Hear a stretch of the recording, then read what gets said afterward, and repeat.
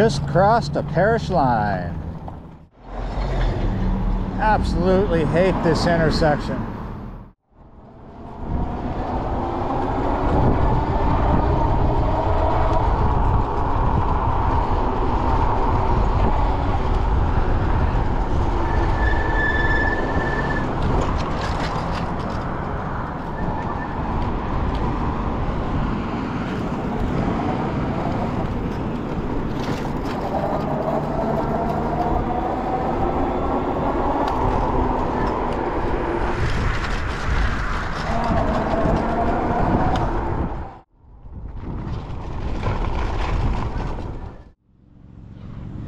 Yeah, you're right. Welcome back to M Hood Fishing. This is how you open a bottle of water and hold a camera.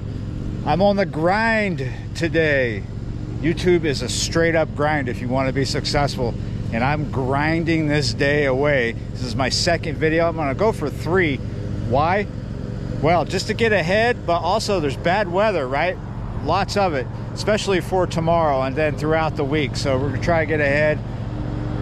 Let's get hydrated. I'm gonna try and pronounce it, but I guarantee I'm gonna get it wrong. Chao Bodhi Buddhist Temple, Chuo Chua Chua Bodhi.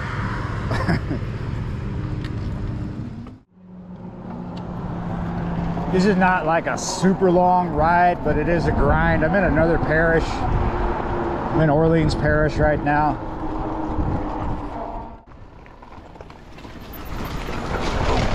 Into the weeds least they're good looking. Not everything here is good looking though.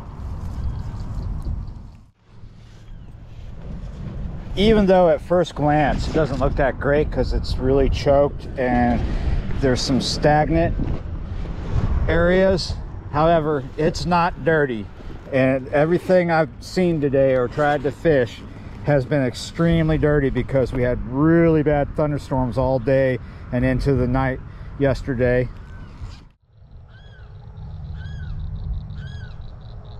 Everything's kind of musical, but a little off kilter out here today.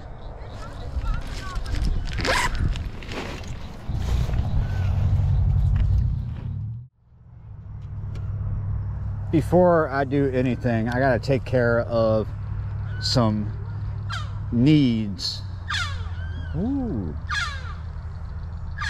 Funny sounding.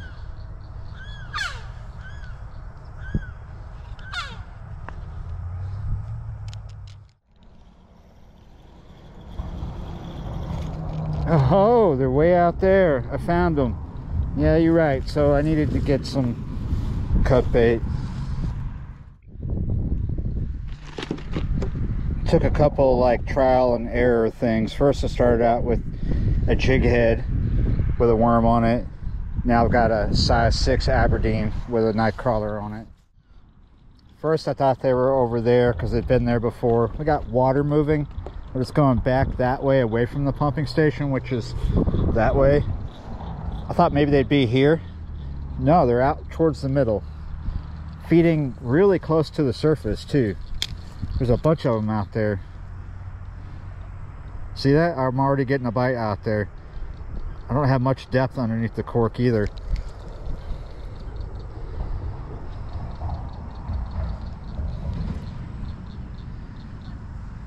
Come on. There's a lot of bites out there.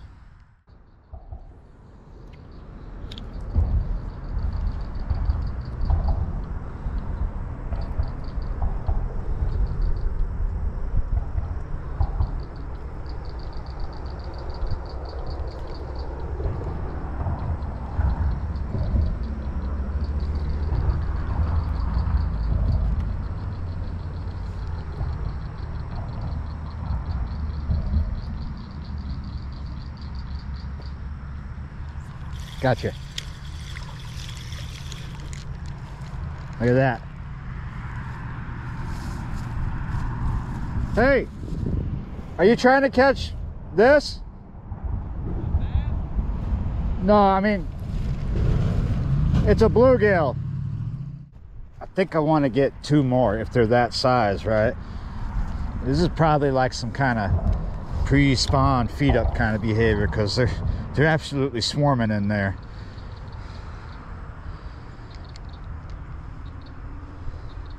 I like coming here for bass, but this is a really good good for this too, for bluegill and other things. Sac-a-lait are here. Okay, you took it deep.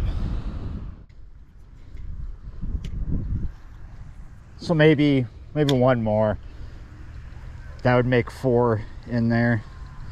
This is also a spot. Well, for today, this is the turnaround spot.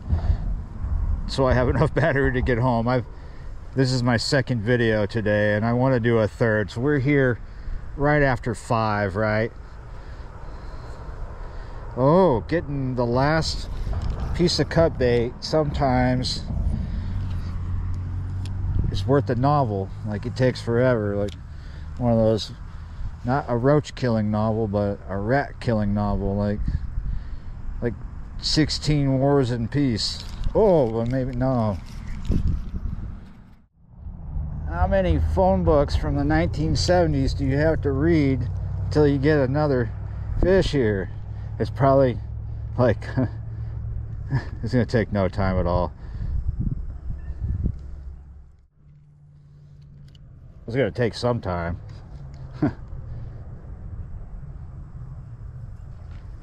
Come on, number four. I think I have have plenty. I got a little bit anyway. Enough. What's up? Yeah, you're right. I'm trying to do two things at once now because it might be a phone book from the 70s that you got to go through before you catch a fourth piece of cut bait.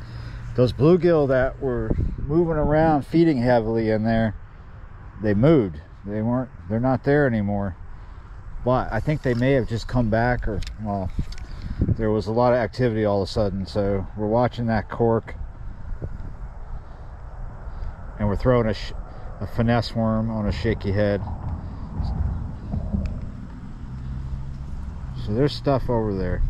Something just broke the water right by the cork. It may have been a little gar. Ah, he spit it.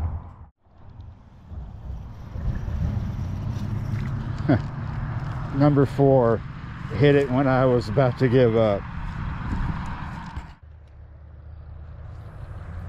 So on the side, I've been throwing stuff for bass and no joy. Not only do we have all this choke here, but there is a lot of hydrilla type stuff underneath the water too out in front of us. Number five.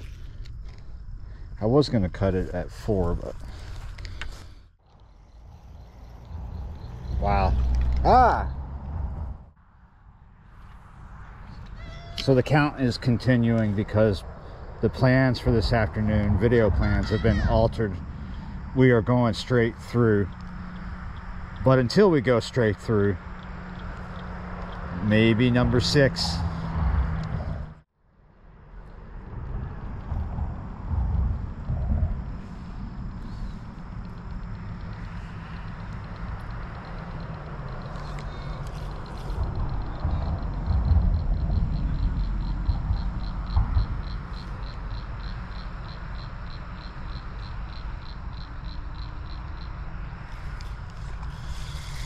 Yes, number six, do not come off. All right. It's not a, whoa, it was like you were flying away, like reality was shifting on us. It's not a big number six, but big enough. Unfortunately, six is not really a great mystical number. but you know what is? It's the one that comes after it.